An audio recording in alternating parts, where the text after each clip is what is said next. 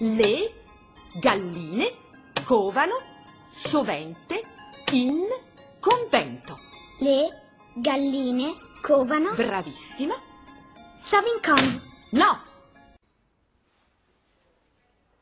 Lei non ha mai saputo stringere dei rapporti con gli altri. Quando era piccola era sempre tutta sola. Sotto le finestre di una Parigi schiantata dal dolore, milioni di persone in lutto si stringono lungo il corteo funebre, a testimonianza silenziosa del loro incommensurabile dolore di sentirsi ormai orfani. Strano il destino di questa giovane donna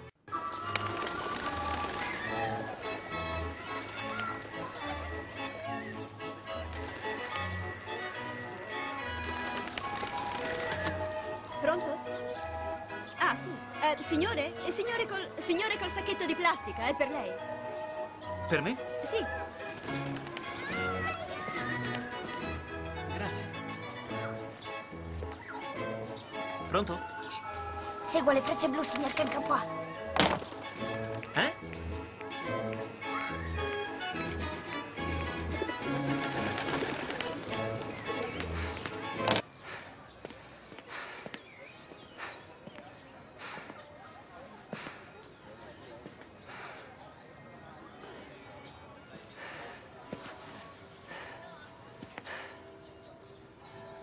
Signore, se il dito indica il cielo, l'imbecille guarda il dito.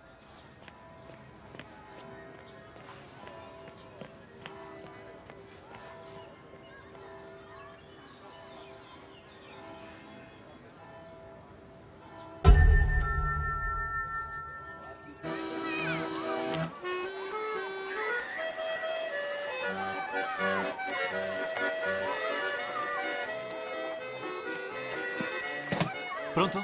So chi è lo sconosciuto delle foto, signor Cancapois. È un fantasma. Nessuno lo può vedere, signor Cancapois. Compare solo sulla superficie sensibile della pellicola fotografica. Quando una ragazza si siede su uno sgabello, lui si avvicina al suo orecchio e fa... "Uh", carezzandole dolcemente la nuca. È allora che si fa scoprire, signor Cancapois. Lei, lei chi è? Pagina 51.